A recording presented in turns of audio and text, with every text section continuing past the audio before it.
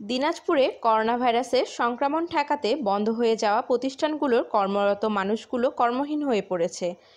বিশেষ করে কষ্টে রয়েছে প্রতিবন্ধী পরিবারগুলো।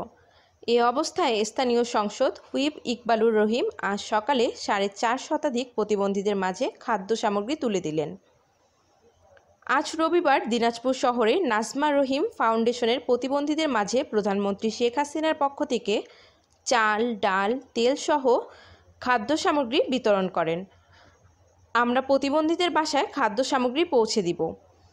এ সময় উপস্থিত ছিলেন দিনাজপুর জেলা প্রতিবন্ধী ফেডারেশনের সদস্য সচিব অনামিকা পাণ্ডে সহ ফেডারেশনের নেতৃত্ববৃন্দ। Jannatul Faria, desk report. খুবই খারাপ অবস্থায় আছে, কারণ প্রতিবন্ধীদের ফ্যামিলি প্রতিবন্ধী ব্যক্তিদেরকে অতটা সাপোর্ট দিতে পারে না যখন তারা ইনকামে থাকে। আর এখন তো ইনকামবিহীন কর্মবিহীন জীবনযাপন করছে করোনা ভাইরাসের জন্য। এজন্য প্রতিবন্ধীদের অবস্থা খুবই শোচনীয়। প্রধানমন্ত্রী, মাননীয় প্রধানমন্ত্রীকে আমি ধন্যবাদ জানাই। বিশেষ করে প্রতিবন্ধীদের দিকটা উনি অনেক খেয়াল রেখেছেন। ইকবালুর রহিম রয়েছেন। তাকেও ধন্যবাদ জানাই। তিনি আমাদের প্রতিবন্ধীদের পাশে সব সময় থাকেন।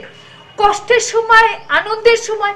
ওনাকে ফোন করলেই আমরা যদি কোনো কিছু বলি যে, ভাই, আমাদের এটা নাই, সেটা নাই।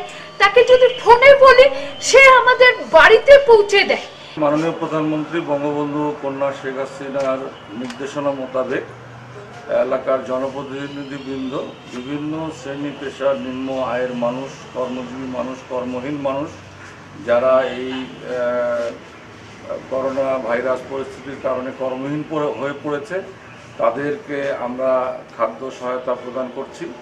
আমরা আজকে প্রতিবন্ধী যারা আমার দিনাজপুরের আছে, পঞ্চাশ জন প্রতিবন্ধীকে আমরা আজকে খাদ্য সহায়তা আমরা দিলাম।